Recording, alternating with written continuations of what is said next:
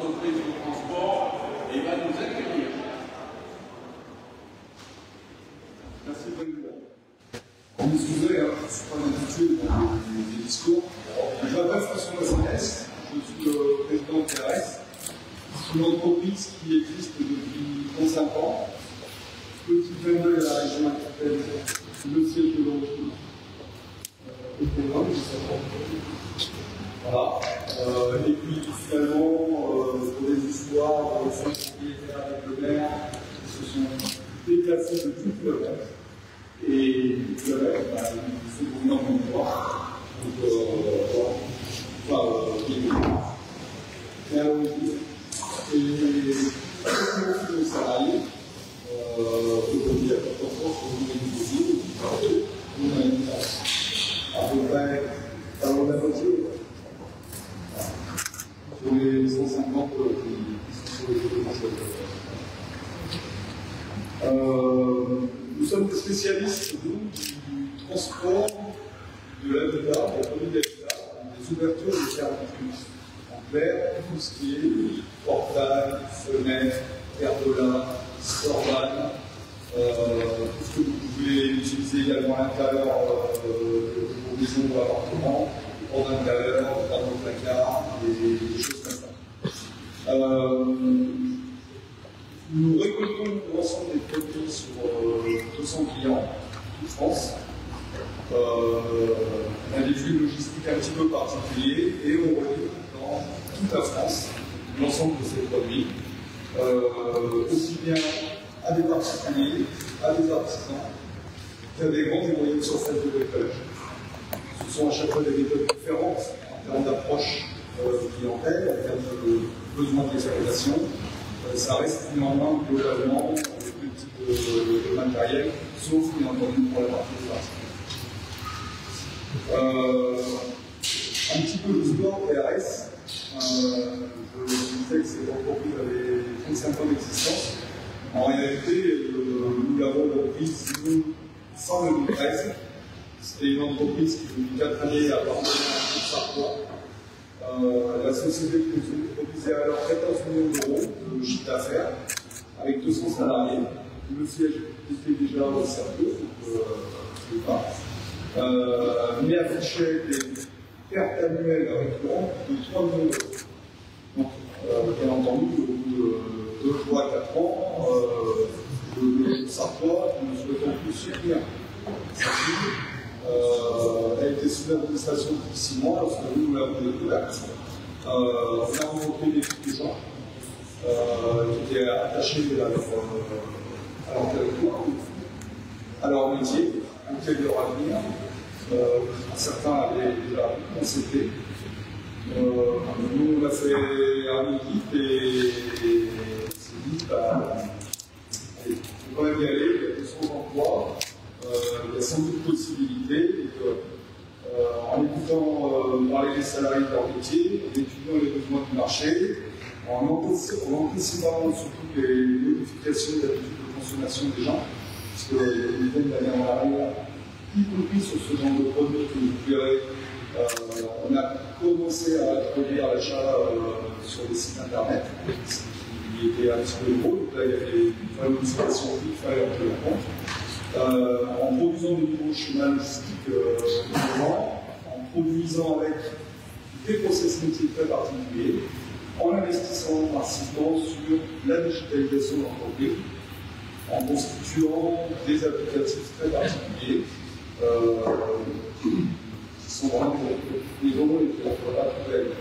Ça, c'est un élément important puisque c'est à partir de là qu'on arrive à gérer la totalité des flux et à produire la façon dont nous le faisons aujourd'hui. Euh, donc en fait, en trois ans, on est passé d'une situation d'une entreprise qui était en quasi cessation de paiement, 14 millions d'euros, 200 salariés, on l'a monté à 28 millions d'euros. On a transformé tous les procès, comme je vous le disais, accompagné par les salariés, parce que si vous avez beaucoup, ils ne seraient pas c'est une certitude. Euh, et on a retrouvé l'équilibre financier euh, sur l'exercice 2017. Ces trois années, en fait, pour des investisseurs euh, euh, professionnels, parce que moi je veux toujours travailler dans le transport, hein, euh, c'est tout un investissement, c'est varie peut-être de perdre. Euh, mais peut-être d'en faire une, belle chose. Donc, on a investi 5 000 euros pour repasser l'entreprise.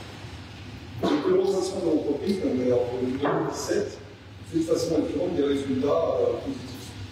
On a fait un choix, les investisseurs que nous sommes, et de continuer à consommer l'entreprise. Que la totalité des résultats de l'entreprise laissés dans l'entreprise, retenant les capitaux propres, renforcer la trésorerie. C'est aussi ça qui, globalement, nous a permis de générer encore de la croissance pour arriver à 35 000 euros, 600 cartes de brise, 420 salariés. On a aussi vite, on a embauché beaucoup. On s'est retrouvé donc euh, dans une situation où nous avons fait un peu de croissance pour euh, pouvoir donner du temps aux nouveaux entrants à comprendre le fonctionnement de l'entreprise, à comprendre nos process et nos objectifs. Euh, Aujourd'hui, la fille est faite. On a décidé de repartir en nouveau sur euh, de la croissance. Alors, pas de chance, 2024, c'est une année vraiment difficilement, hein, on est dans le du marché de bâtiment. Mais euh, juste que nous avons repris au début, dans les universités, ce que nous avons fait, le budget est plutôt optimiste et pessimiste euh, nature. Et donc, euh, on on va continuer à ça. Moyenne d'âge de 36 ans. Euh, mais c'est aussi ce qui, entendu, est utile. Euh, que vous dire euh, d'autre concernant PRS Ici, PRS 24. Euh, nous étions à Brive. Notre développement, dont je vous parlais à l'instant, euh, faisait que le site l'étroit. On n'a pas eu de malgré toute la démarche qu'on a menée sur, euh, la communauté de Brive, euh, de retrouver un autre site. Euh, je passe aux détails, mais on a pu à ce moment-là rencontrer le président de la communauté de euh, Dominique Bousquet, rencontrer également Madame Moura. Ce qui nous a frappé en premier, parce qu'on n'a pas l'habitude d'être au comme ça, c'est l'énergie qui nous envoie à nous convaincre donner cette opération. Euh, nous, expliquer que la population il trouverait la main-d'œuvre dont avons besoin. Euh, une chose que nous serons, nous serons bien Deuxième chose, c'est que le projet qui nous présentait, qui était de venir réhabiliter en fait un site industriel, enfin de le modifier en réalité, pour le rendre notre, notre activité, c'était aussi quelque chose qui nous plaisait.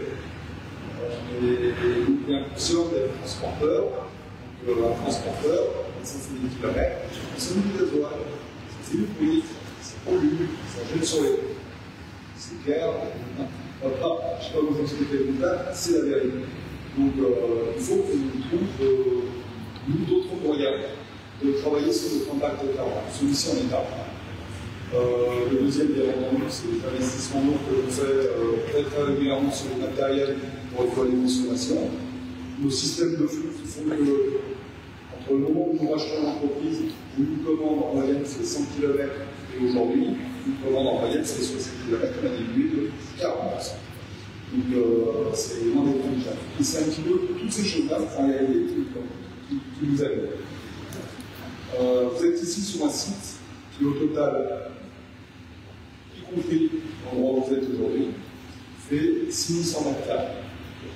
Euh, nous avons été euh, séduits par euh, les propositions et l'énergie euh, de M. Bousquet et Mme Bois, beaucoup aidés par, la région et le département, là-dessus, euh, parce que sans retraite financière, nous ne pourrions pas nous installer ici, c'est clair. Et nous serions partis, bah, là pour nous, techniquement, il paraissait être plus logique, c'est entre Toulouse et Montpellier. Donc, euh, sans sans regret, euh, euh, nous n'aurions pas eu le plaisir de, voilà, de, de trouver ici par vous. Et, et je pense que ça aurait été dommage. Sincèrement, parce que les liens, on s'était engagé euh, auprès des équipes à l'époque, sur le site 80 enfants. Aujourd'hui, nous en avons 85. On n'est pas en déficit de 5, en réalité, on est en déficit de 15. Euh, on cherche des conducteurs routiers. C'est difficile, je pense que dans tous les métiers, c'est difficile. Mais les entreprises le souhaitent, seul, peu importe. Mais c'est difficile. Euh, c'est pas propre au. On rencontre ce même type de problème ailleurs. On rencontre ce même type de problème quand on croise d'autres chefs d'entreprise dans d'autres secteurs d'activité. On continue, à se battre là-dessus. Depuis que nous sommes arrivés, il y a quand même 57 personnes euh, une terrassonnée et qui étaient déjà salariés, vivant en Corrèze, qui se sont dans le terrassonnée. Donc, euh, ça aussi, c'est une réussite pour nous. Et voilà, maintenant, il manque à franchir le dernier pas, les 10-15 qui manquent. Euh, et là, c'est on aura dépassé les objectifs et donc, on dire que ça va faire. Donc, euh, voilà, j'ai pas plus long, j'avais fait un discours, vous avez vu, j'ai pas tous les tâches. Quand je commence à parler de mon entreprise, des salariés avec qui je travaille, tout ce qu'on a fait, je parle un petit peu de travail, mais je vous ai dit l'essentiel, il me semble. Euh, donc je, je vous remercie beaucoup à Merci Madame la Présidente. Le Président,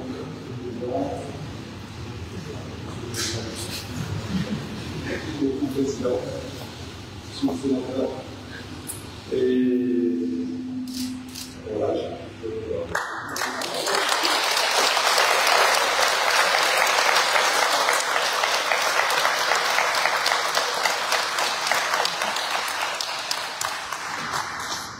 Madame la sous-préfet, Monsieur le Président du Conseil régional, Monsieur le Président du Conseil général, Monsieur le Sénateur, Monsieur le le Président aussi, et euh, Monsieur le Directeur général de l'entreprise. Donc, euh, merci à, vous tous. Alors, ce n'est pas une inauguration avec toute la population comme on fait quelquefois. Donc là. Donc, merci aux élus, merci au monde économique d'être avec nous pour partager nos actions, de partager ce que nous souhaitons faire hein, pour euh, le terrassement. Donc, euh, Monsieur le Président de la région a annoncé mon chemin se croise de temps en temps et ces quelques dernières années se sont souvent croisés. Donc, que ce soit au téléphone, que ce soit dans ton bureau, que ce soit toi-même qui es venu ici, des fois de façon un peu confidentielle, des fois de façon un peu plus officielle, et nous sommes battus pour euh, essayer de sauver la chaîne des, des papeteries. Alors euh, aujourd'hui, n'est pas fermée, l'entreprise, il y a toujours 200 emplois. Et nous espérons que la production de glacine aura un certain essor. Sommes un peu hein, inquiets, mais euh, on aimerait avoir un peu plus tort et penser que la médecine a un avenir. En tout cas, en ce moment, ça fume. En tout cas, il y a euh, chez le guerre CSR, qui va aussi financer la région de façon importante, euh, qui euh, fonctionne. Voilà, en tout cas, on a essayé de se battre.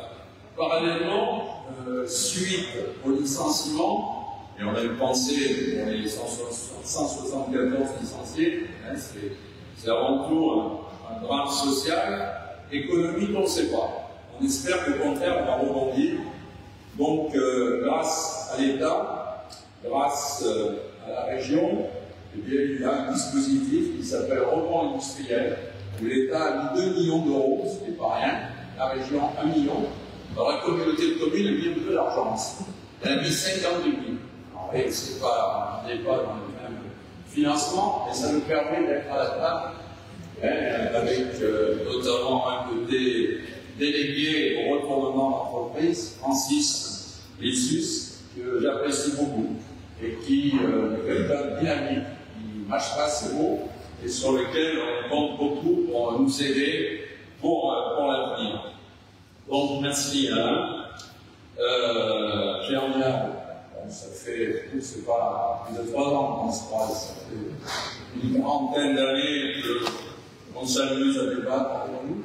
Mais l'essentiel, c'est lorsqu'il y a des dossiers compliqués, on s'est allé unis.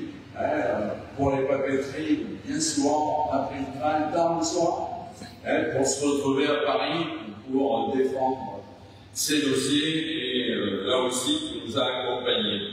Monsieur le préfet, euh, l'État euh, nous a accompagnés essentiellement sur la création de la zone. On a fait le tour de la zone.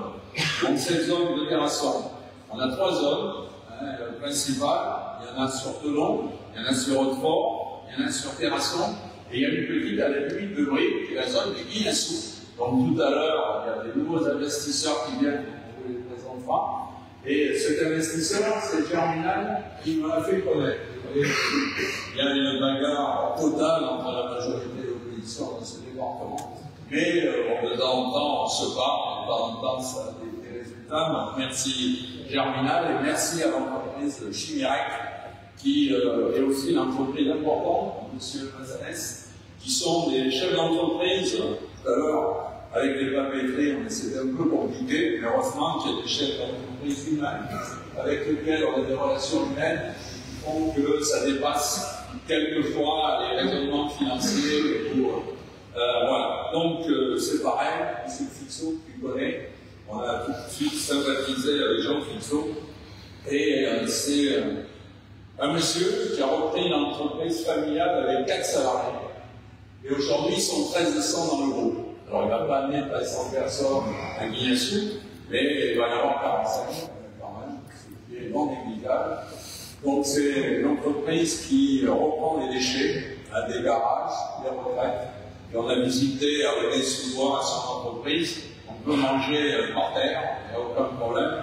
On ne pense pas que c'est du traitement de produits provenant de garage. Voilà. Euh, donc, euh, dans la zone, euh, la zone, donc, c'est des terrains qu'on a achetés 4 hectares à la ville de Terrasson. Le maire est reparti ses vignes. Il était là tout à l'heure au début pour couper le. Donc euh, cette zone a été commencée bien sûr par une municipalité précédente.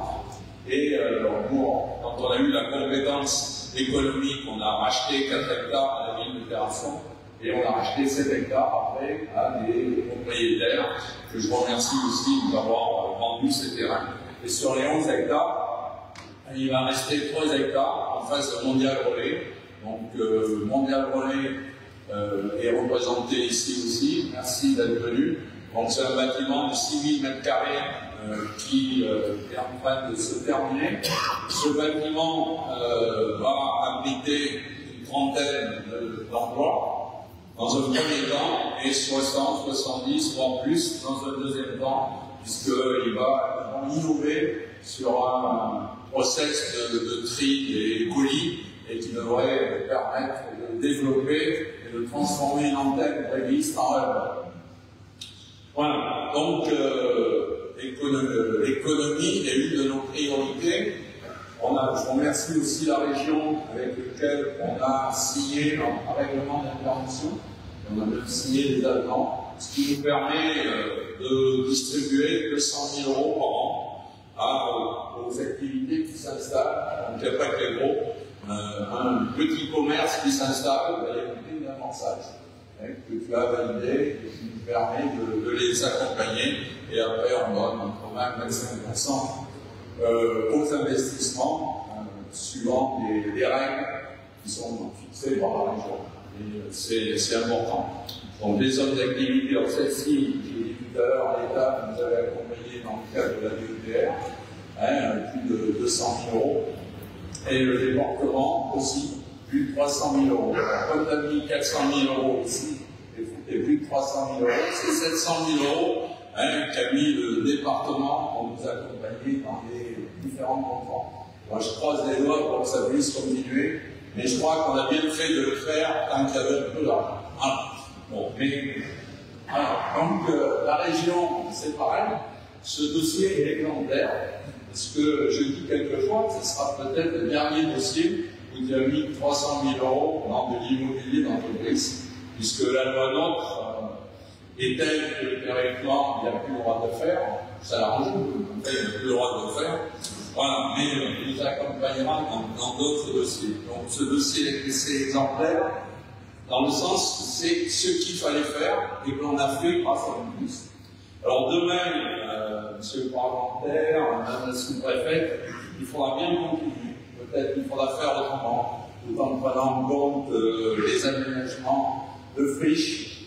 En se promenant, on a vu qu'on avait aussi du travail à faire euh, dans le terrassonné pour rénover, mais ce sera un grand débat avec les propriétaires, parce que ça nous appartient pas. Il faudra voir avec les propriétaires, il faudra les accompagner. Il faudra continuer. Donc cette inauguration doit être courte, mais ce n'est pas une fin. À mon avis, c'est que le début hein, d'une politique et d'une politique dans un changement de société, dans un changement de temps. Alors, le temps change, la société change, mais il faudra toujours des emplois et des services à la population. Et les services, c'est le deuxième euh, ligne d'objectif de cette communauté de communes. Mais tout ceci se croise. Il faut des entreprises, il faut des emplois, mais il faut du logement. Et euh, on est en train d'élaborer les PMI, on a une politique habitat au niveau de la communauté de communes assez dynamique, où on aide à la rénovation des logements. Euh, aussi, il faudra euh, que les entreprises travaillent avec nous, et là il y a des problèmes importants qui ont été faits, je le dis au monde de l'entreprise. Avant, les, les, élus et les chefs d'entreprise, euh, c'était deux mondes à part. Alors euh, aujourd'hui, on a appris à travailler ensemble, je crois qu'il n'est pas pour rien. Euh, tu as donné une image d'élus hein, qui étaient soucieux du développement de l'économie. Avec Sylvain Moux, je remercie doublement parce que c'était à lui ici, s'il avait pris d'abord trop, la transaction ne se serait pas faite. Eh bien, Sylvain Moux, c'est mon binôme hein, au niveau du territoire d'industrie. Donc, le territoire d'industrie, on travaille avec la Corrèze. Ça n'a pas donné dans le premier, premier euh, trois ans des résultats énormes. On croise des doigts ça apporte un peu plus, parce qu'on a pas mal de dossiers. Et on a notamment la réhabilitation d'une zone pour refaire sur Tonon de 13 hectares, où on voudrait y installer des entreprises qui euh, réhabilitent euh, des déchets industriels, hein, mais en faisant comme chimiques dans des conditions de protection de l'environnement et dans des conditions écologiques. Voilà, et après, pour Mademoiselle Dessert, on va accompagner aussi à Tonon. On a une autre zone, et là, on, va acheter 7 hectares après qu'on aurait réglé quelques problèmes avec la DRAC, parce que c'est des terrains sensibles.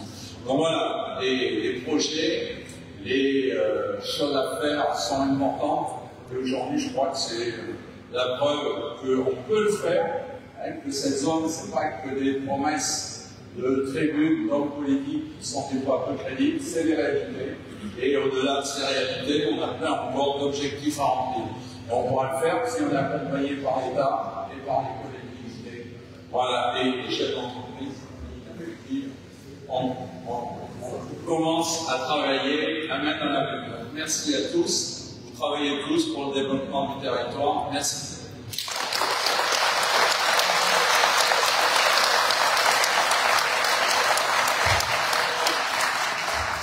Je vais faire très court. Moi, je n'ai rien dit. Alors, préparez-vous. Donc, je voudrais euh, saluer Madame le Président de la région, mon cher Alain, saluer le Dominique, que je connais depuis 40 ans, ça commence à peser. Et puis, saluer le sénateur, évidemment, les dirigeants de, de TRS. Moi, je serai bref. Je voudrais vous dire le plaisir que j'ai à accompagner des projets économiques sur votre département. Sans économie, il n'y a pas d'emploi. Sans emploi, il n'y a pas de jeunes qui restent.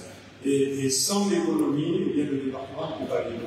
On a une réputation de département touristique, tout le monde croit qu'on vit du tourisme, c'est totalement faux.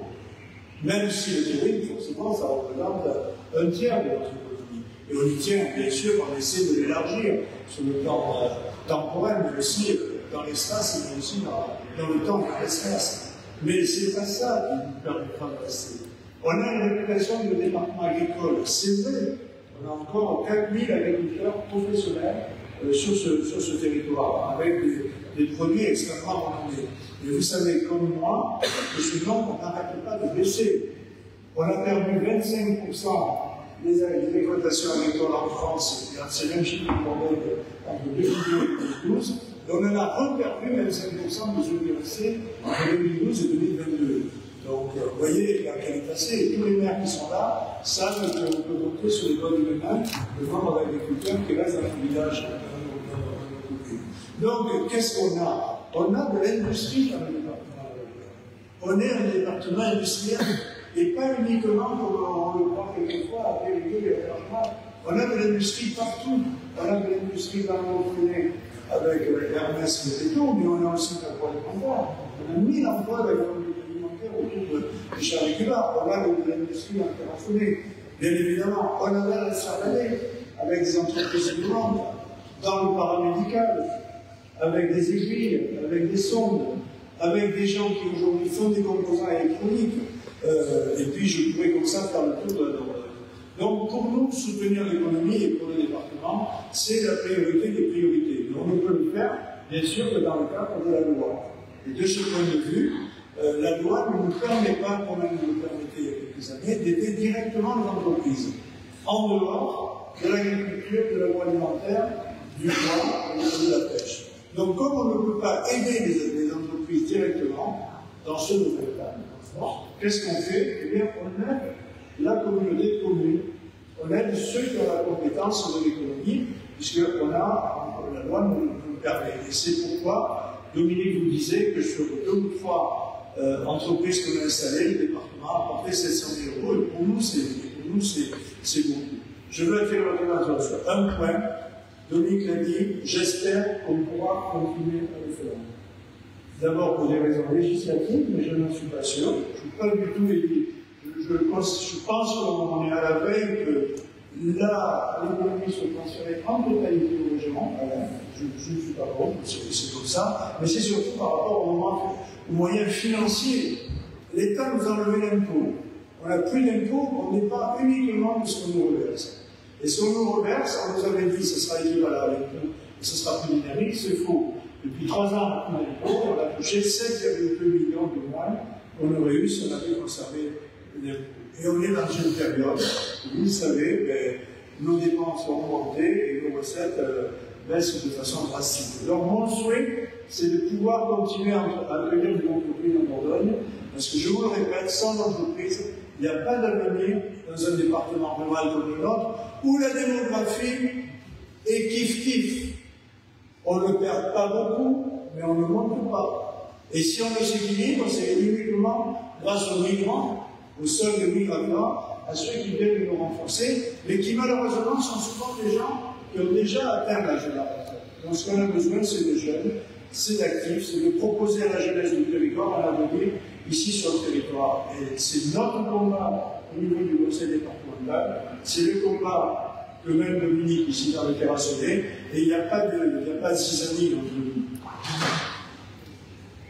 Il y a une opposition au département mais il l'a dit, je, je, la soutiens. Parce que s'il n'y en avait pas du tout, ça, ça, ça, Et puis, ne serait-ce qu'au titre de la biodiversité, il faut que quelques-uns, il faut que quelques-uns, quelques opposants puissent rester. Si on veut avoir une société équilibrée. Vous êtes d'accord? Vous avez compris que, je plaisante sur les choses sérieuses. On est tous d'accord. Il y a une seule chose, la Dordogne et le Périgord. Bravo.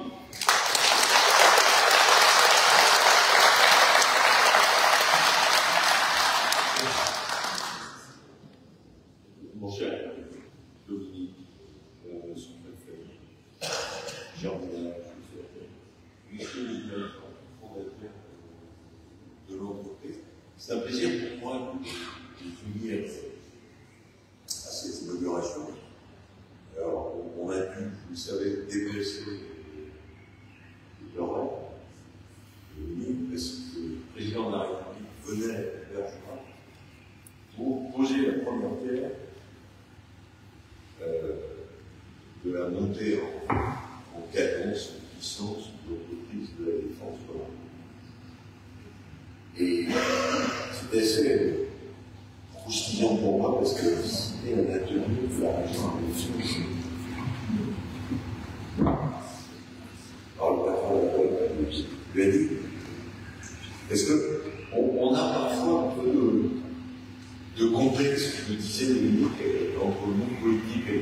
monde de l'entreprise. Alors, moi, je viens du monde de l'entreprise, c'est mon métier pour faire des recommandations industrielles. Il faut accompagner les entreprises quand elles traversent les périodes difficiles ou pendant les périodes difficiles. Pas simplement euh, a besoin de, de, toutes les cartouches possibles pour le canon César, pour aller taper les Russes. Euh, c'est vraiment un, peu de choix. Et donc, l'entreprise va trouver ses montants sur leur appeler avec, avec nous ce matin. On était avant autour de, de sur le développement des activités électroniques de la Fed et les autres entreprises. Et ce que je retiens, moi, enfin, sans réaction que c'est de, de c'est ce qui compte sur un territoire, c'est cette diversité d'activités industrielles, commerciales, économiques en général. On, on est fasciné en France parce qu'on est tellement centralisé par les grands groupes. Et c'est vrai, Bordeaux été fasciné par Ford, vous, vous avez été par Honda. Mais en fait, on s'aperçoit que l'activité industrielle, c'est avec ça que l'Allemagne a réindustrialisé, c'est nos PME, nos artisans.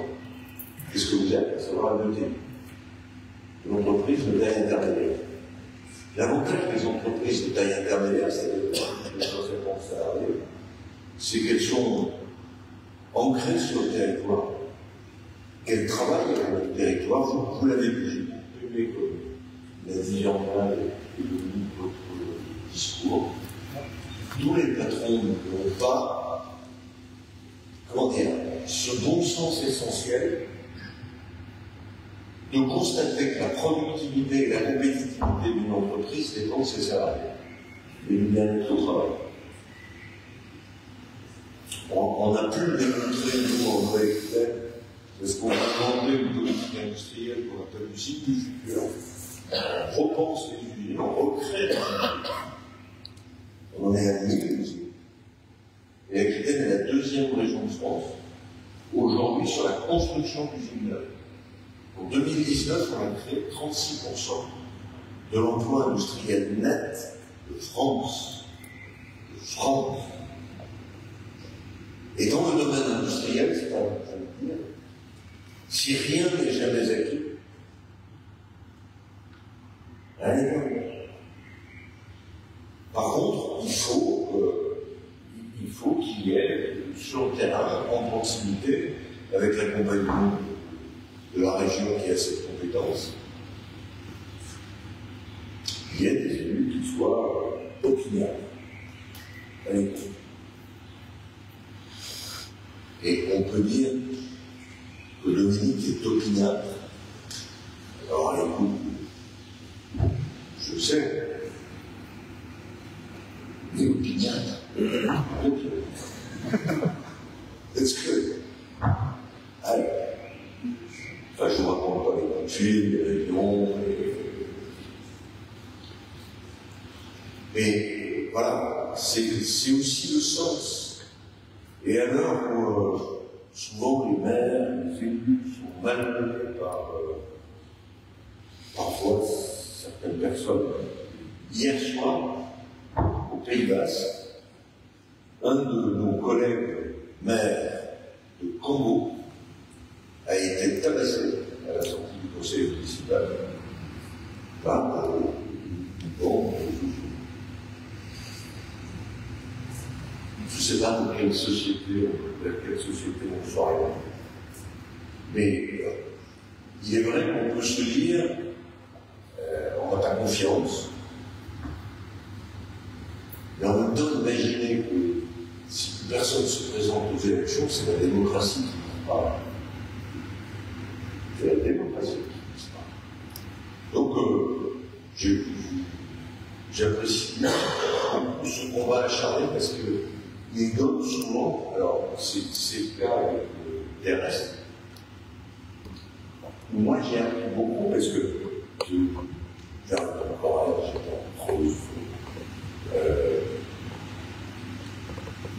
métier de président de la République est en fait un métier apprenant? Et c'est ça qui est sympa, parce que je connais pas mal le secteur industriel, j'en viens.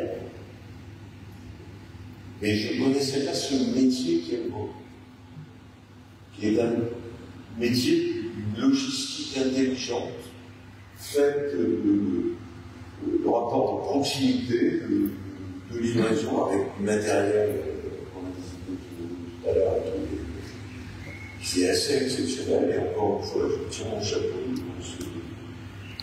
cette mécanique, elle en vient en club,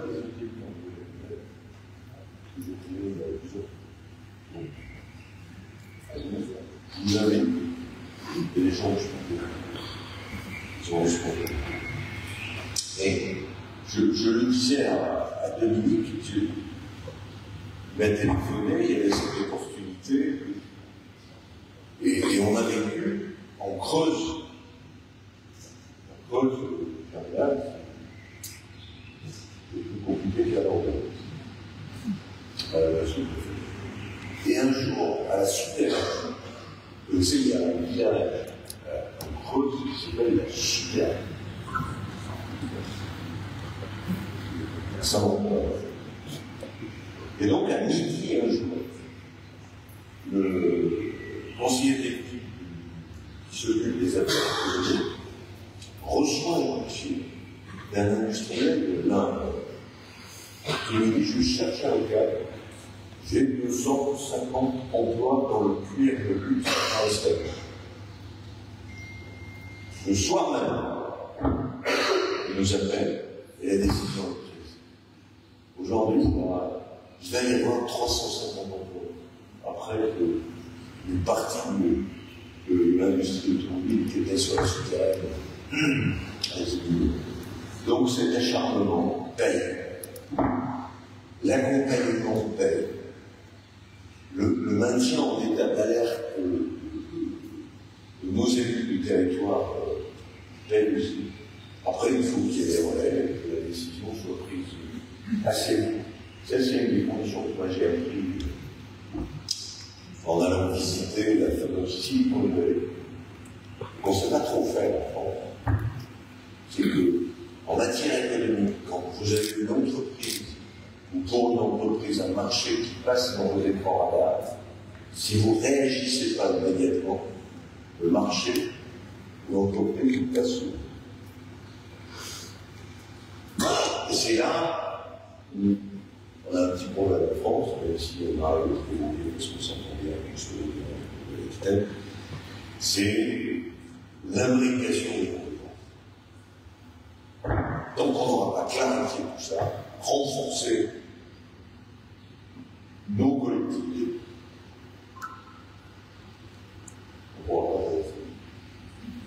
C'est le jeu que je forme, donc, bon. Je voyageais avec la montagne pour j'ai des souvenirs. Merci beaucoup.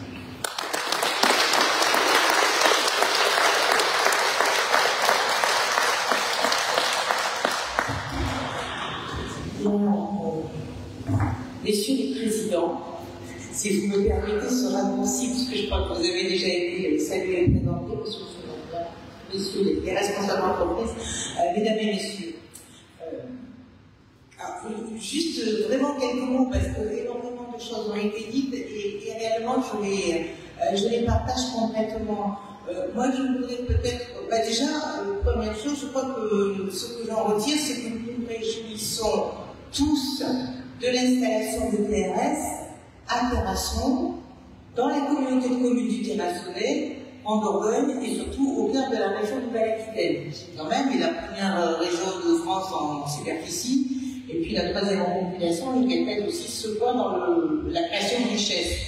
Donc, on, on parle d'un territoire euh, modeste, vous parlez d'une petite communauté de communes, euh, on parle d'un territoire modeste, euh, modeste, mais qui est déjà quand même relié au reste du territoire, et puis et puis une, une, une grande région créatrice de, de richesses et extrêmement, extrêmement connue. Et, et, moi, je crois que c'est surtout ça qui est intéressant dans, la, dans cette démarche développement économique et, social que nous, euh, que nous partageons et que nous cultivons tous.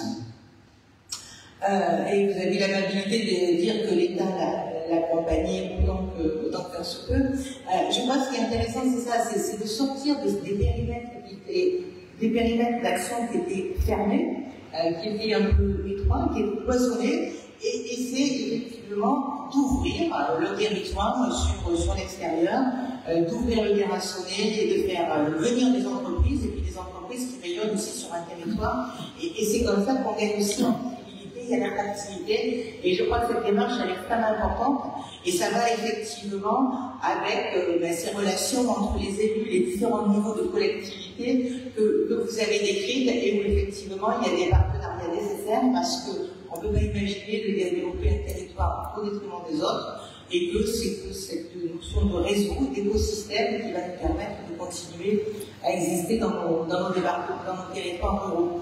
Euh, et puis, euh, l'intérêt aussi d'attirer des, entreprises, de les diversifier, mais aussi de créer des écosystèmes cohérents euh, entre la logistique, du transport et, les productions industrielles, c'est que ça nous donne aussi ben, la légitimité pour engager d'autres projets. Vous parliez, on parlait tout à l'heure d'un projet de formation lié au transport, et effectivement, ces écosystèmes se nourrissent et permettent aussi de, créer des activités supplémentaires. Je, crois que ça, tout le monde le, partage.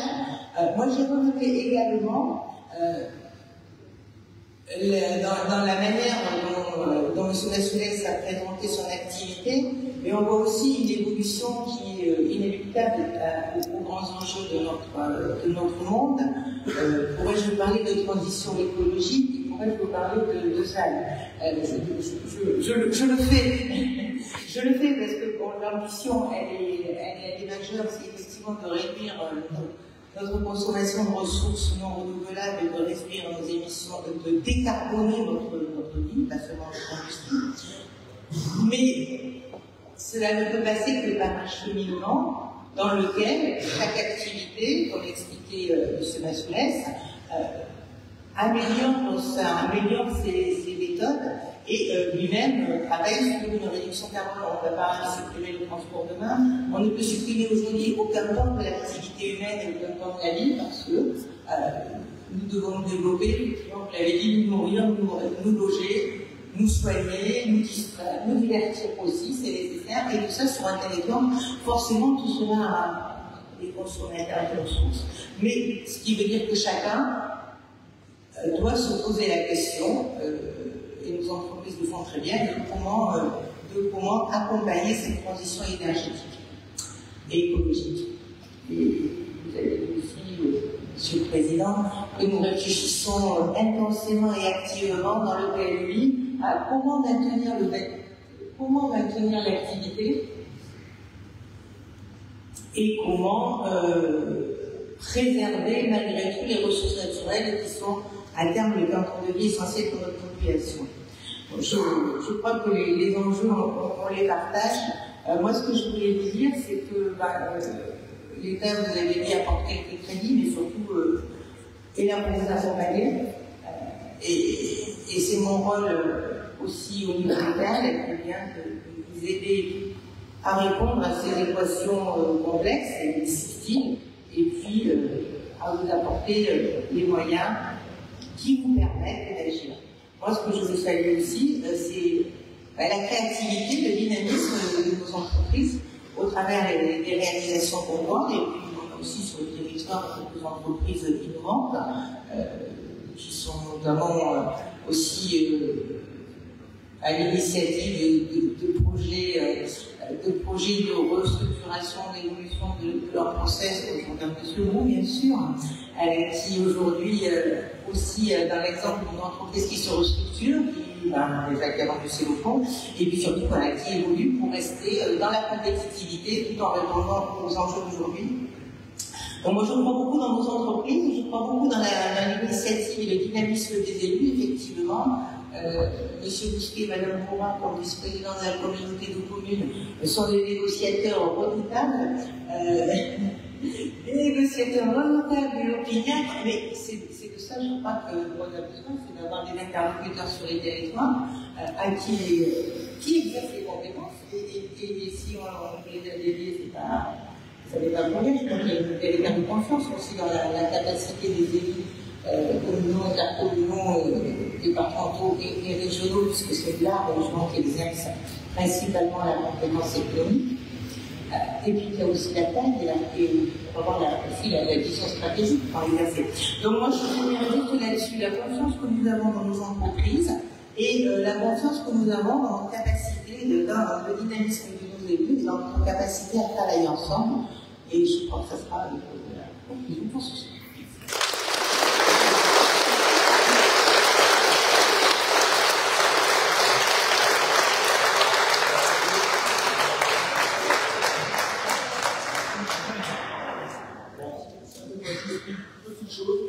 S'il y a des gens qui souhaitent visiter l'entreprise, il a un certain nombre de salariés de TRS qui se, sont proposés pour pouvoir vous accompagner par plus de 10 à 15 maximum. Comme ça, vous fera la